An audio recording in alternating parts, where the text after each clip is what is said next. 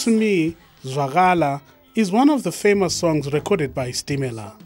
The band was founded in 1982 by internationally acclaimed guitarist and vocalist Raymond Chikapa Phiri. You know me, baby, I'm the lover, not a fighter. The 18th MTN South African Music Awards honored Ray alongside Vusi Mahlasela with a Lifetime Achievement Award. The award was for their invaluable contribution to the culture of South Africa.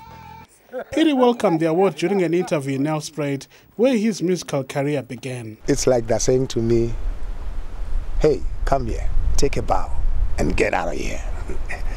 but I'm not going to get out because I will always remain in people's heads, minds, hearts, soul, spirit. I will give without being asked to give. And I will take without asking also, because it's a two way traffic.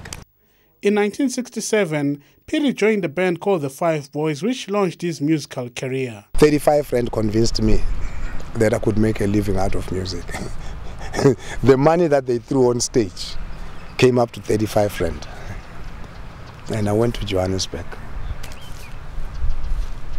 I bought my, my, my, my myself my dream jeans called Lee, Lee jeans and uh, some Converse, Chuck Taylors, a Pringle, and an Ayers cap. Oh, I was. While Ray is known for his vocal and guitar skills, he actually began his career as a dancer. He is now planning to set up an arts institute at the Crocodile River Valley Farm. No, I would love to see a situation where this farming community could go back to what it did in the early 60s, where it developed individuals like myself. That can we bring those old days and try and revive the cultural and social life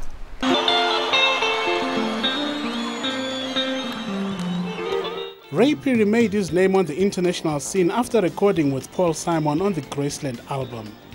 You'll be joining Simon in London in July this year on the Graceland tour, 26 years after they recorded the album.